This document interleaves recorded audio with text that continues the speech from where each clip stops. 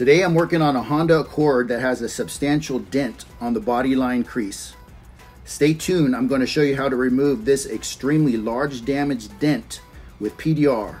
No fillers and no painting.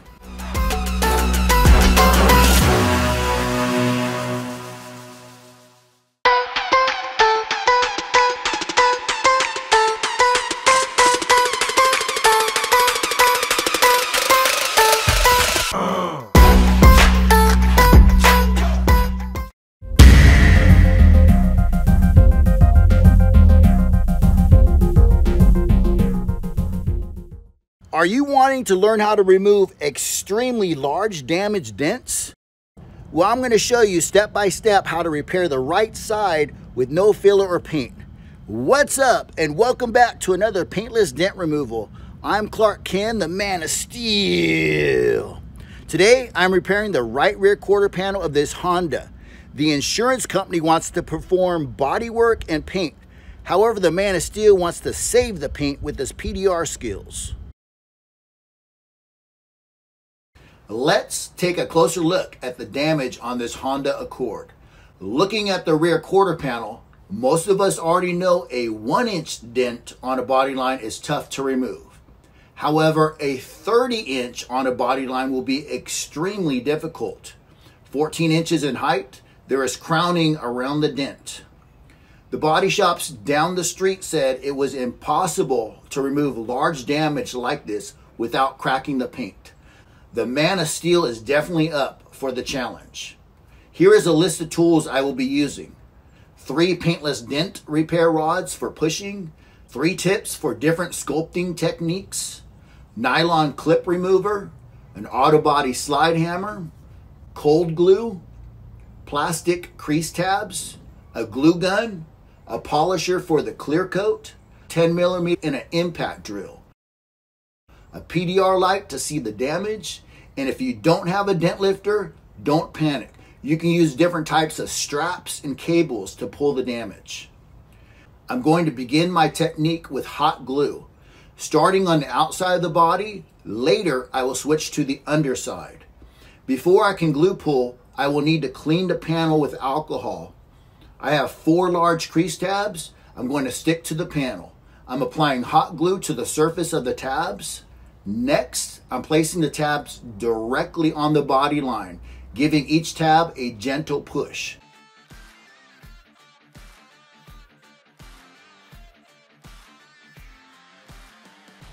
Attaching the hook of the slide hammer to tab number one and tab number two. Now attaching the dent lifter to tab number three and tab number four. These two tools will help pull up the body line. Here is tip number one. Important to pull the body line evenly so you don't warp the panel or warp the body line. You can see the bottom side is beginning to release. Now you can see the entire dent is lifting. It's leveling up with one simultaneous huge pull. Giving the slide hammer a few extra pulls.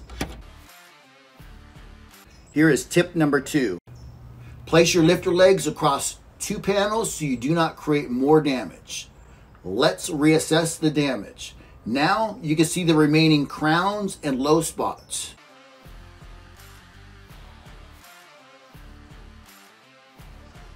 Moving on to my second technique in this repair. I'm going to do some panel beating from the outside using my blending hammer. I'm gently hitting, lightly touching the crowns. Here is tip number three. Don't hit too hard, it will create more work, resulting in a longer repair time.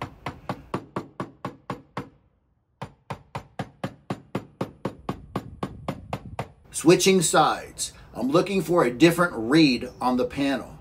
I'm releasing tension and moving my tension hook closer to the door. I'm blending the crowns into the dents and into the rest of the panel.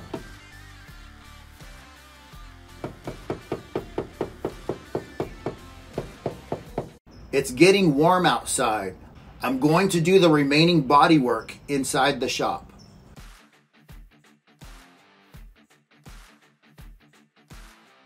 It's time to chime back in on this big dent repair on YouTube. Are you learning a lot so far? If you're a new subscriber, put in the comment that you're a new subscriber and I will personally respond. Now, I'm going to show you more of my method. Looking at the damage, you can see I pulled a good 85% out. My next step, I'm going to remove the pins and the glue tabs so I can take a closer look at the body line. I'm cleaning the panel with alcohol. Now I'm going to begin step number three. I'm going to try a round with the cold glue method. These tools are great for popping out easy, shallow dents. I'm leaning into the panel, giving the tabs a twist and a push, then several strong pulls.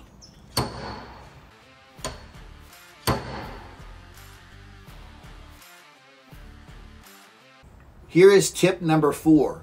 Warming up the panel before placing the cold glue tabs will help the tabs adhere better to the panel. After cleaning the panel, the shallow dents did not release. Moving on to the fourth step. Now I'm going back to the hot glue method. This time I'm going to use a large three inch tab. These tabs fit really nice within the dimensions of the dent.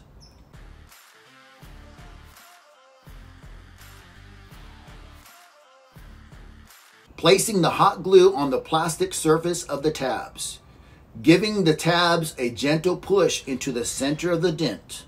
Now placing the slide hammer hook through the eye bolt, giving the slide a few pulls.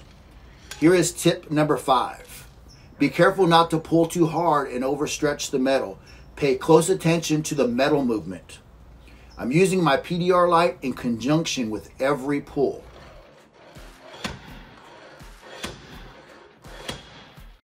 Placing the next tab in the shallow spot near the tail light.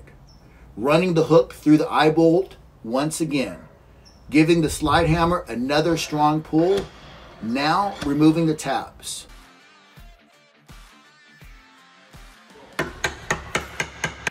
Let's take a closer look at the results and see the remaining damage.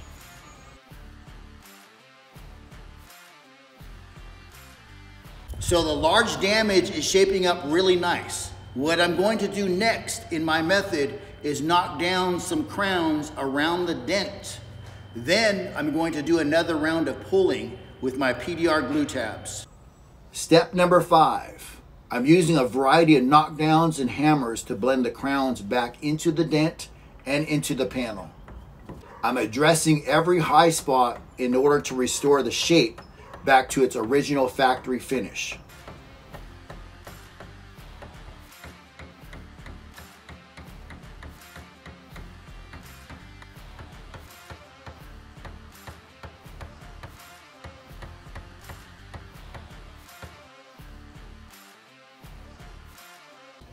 Noticed three low areas just above the body line.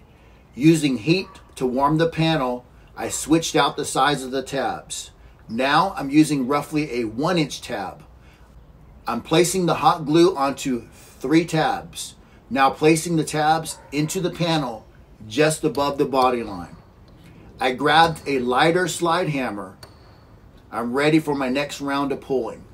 Paying close attention to the angle of my slide hammer I'm holding the tool perpendicular to the panel, giving each tab a few pulls with the slide hammer. Then remove the tabs from the panel. I will use alcohol, a wedge, and a hammer. Going to do another round of blending by manipulating the panel by using my knockdowns and hammers to remove the high spots. The entire quarter panel was dented. It is requiring lots of extra blending. My sixth step, I'm going to remove some parts to gain access to the back side of the panel. Removing three screws on the bumper with my impact drill. Next, removing plastic interior clips, then popping off the trim and pushing back the interior. There are two 10 millimeter bolts under the bumper. I'm removing four more nuts behind the light that need to be removed. Removing the wire harness and off comes the light. Moving on to step number seven. I'm going to use the paintless dent repair technique. My PDR rod is ready with the soft tip already in place. The brake light is a perfect access point for my tools to work the underside of the body panel. Here is tip number six.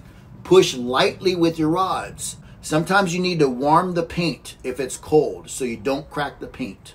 I'm going to fine tune the panel with multiple PDR rods, tapping and knocking down the repair to remove more high spots. Then blend the high spots to match the texture of the paint we call orange peel. This is how we remove dents from the body of a car. My next procedure, I'm going to put the car back together, starting with the brake light, putting it back into place. I'm screwing in two bolts, four nuts, and pushing the interior back and snapping the plastic trim back into place. Finally, tightening up the screws on the bumper. My ninth step, I'm going to polish the panel. I'm applying polish to the pad. I'm guiding my polisher throughout the panel. Now it's time to see the final results.